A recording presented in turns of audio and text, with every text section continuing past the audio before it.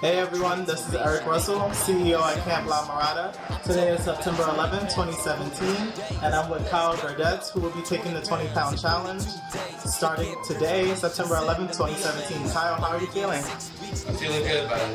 That's great. Are you ready? Yes. All right, let's get you on the scale. 255.5. Good morning, this is Monica with the Camp Transformation Center in La Mirada. It is Friday, October 20th, 2017. We are with Kyle Gerdetz. He is doing his final weigh out for the 20 pound challenge starting September 11, 2017. Starting weight was at 255.5. How are you feeling this morning, Kyle? Feeling good. That's good. Let me have you step on the scale and get your final weigh out.